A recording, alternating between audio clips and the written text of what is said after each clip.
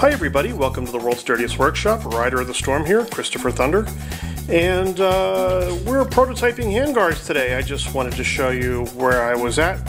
Uh, you may have noticed that I have recently built a hot and cold polycarbonate bender. And uh, I'm pretty good with shapes, geometry, measurements, that kind of thing. When you're making your handguards, uh, just make sure that the corners, which have a certain roundness to them, match from left to right. Um, cutting them out's easy and getting the shapes to match is pretty easy. You just flip the pattern over.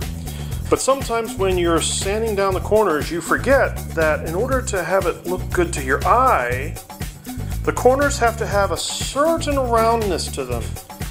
Otherwise, it may not look good to your eye. Now, I could add a couple more bends in here and really, you know, do this up, but I stepped back for a moment and I said, hey, less is more. And I want to know what you think. You know, what else could these handguards have to them? So, please leave me a note and uh, I would be happy to speak with you about my handguards. I want to thank everybody for watching the World's Dirtiest Workshop. This is Rider of the Storm, Christopher Thunder saying bye bye. Me, me, me, me, me.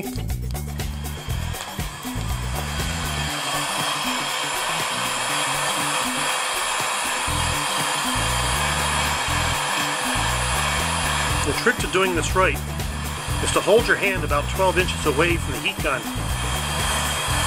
When your hand starts to get too hot to tolerate, then you know when you should move the gun.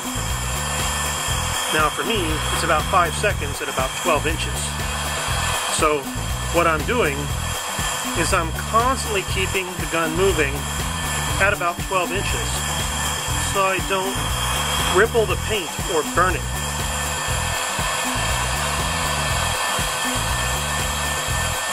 You can paint only the back side of polycarbonate and you'll get a nice shiny finish. But sometimes it can look a little too scratched up. So what I'm doing is I'm painting both sides of the polycarbonate.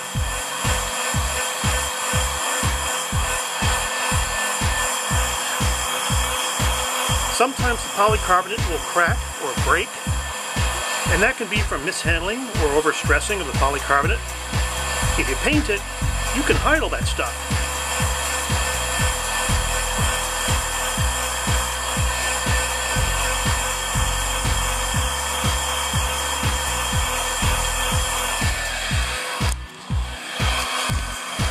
When you're prototyping handguards, try and give them some color, and then set them up and see what the difference is.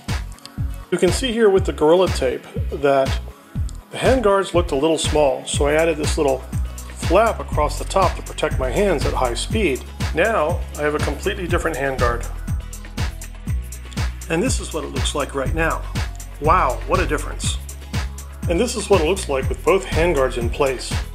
Wow, that is really cool. Sometimes less is more and simple is better than more complex.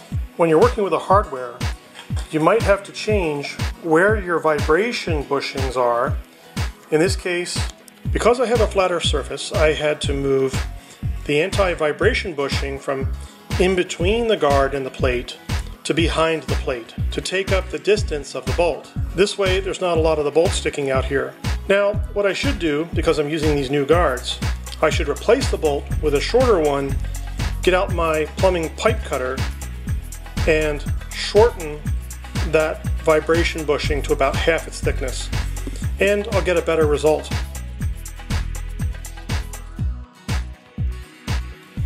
Before you ride anything, shake it, don't break it. That's nice and solid.